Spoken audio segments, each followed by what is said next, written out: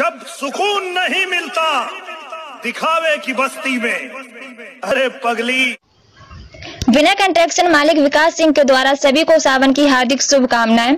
सावन शिवरात्रि के पावन अवसर पर ज़िंदगी में आपको नई शुरुआत मिले। Nine eight three nine one nine two three six zero Vikas Singh.